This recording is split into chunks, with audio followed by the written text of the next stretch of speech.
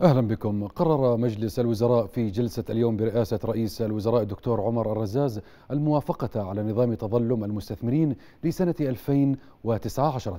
ويأتي النظام لوضع آلية شفافة لتمكين المستثمر المقدم لطلب التظلم من أي إجراء أو قرار أو امتناع صادر عن أي من الجهات الحكومية كما يأتي لغايات دراسة المعيقات التي تواجه النشاط الاقتصادي ولإيجاد آلية لتسوية نزاعات الاستثمار بين الجهات الحكومية والمستثمر وديا خلال مدة أقصاها ستة أشهر واتباع السبل الكفيلة بمعالجتها.